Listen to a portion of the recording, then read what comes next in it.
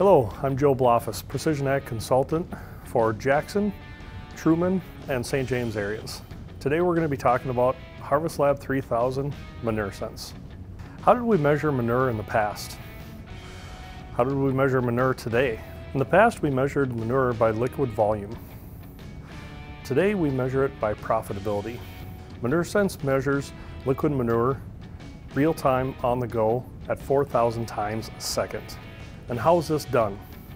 The Harvest Lab 3000 measures nitrogen, phosphorus, potassium, dry matter, and liquid volume. How does this work? How is it able to read it 4,000 times a second? It uses near-infrared technology. A light source projects a beam directly into a crop or product. That crop or product absorbs some of that light and then reflects some back. This is how we're actually able to measure the moisture and the contents of the manure. Okay, let's talk about the traditional application of manure. So in the past, we had roughly 50,000 gallons. Within that 50,000 gallons, what if you only took two samples out of a barn? So out of those two samples, you averaged 150 pounds of nitrogen. But within those two samples, on 50,000 gallons, you could vary anywhere from 50 pounds to 300 pounds of nitrogen. So lower than average nutrient sample placed in higher yielding areas can lead to more problems. This can lead to a loss of profitability per an acre. After the season is over with, you can take all of your manure sense maps and bring it into Operations Center, where you can see the pounds of nitrogen, phosphorus, potassium, dry matter, and liquid volume right at your fingertips. So one way we can do this is using a nutrient control using the FlowGate or tractor speed automation. You can also use volume control. So you can set your target rate for gallons per an acre. While using nutrient control using the FlowGate or tractor speed automation, we can change the target rate of N, P, or K. We can also use volume control by changing the target rate of gallons per an acre like we traditionally do with a flow meter.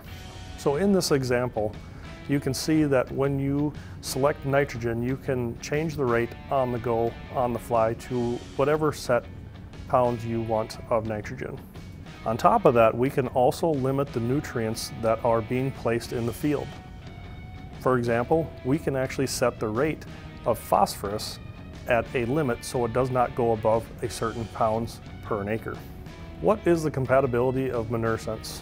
The John Deere 2630, 4600, and 4640 displays are all compatible with ManureSense. Tractor models that are compatible are 6R, 7R, 8R, 8RT, 8RX, 9R, 9RT, and 9RX. So the requirements for the automatic flow gate control.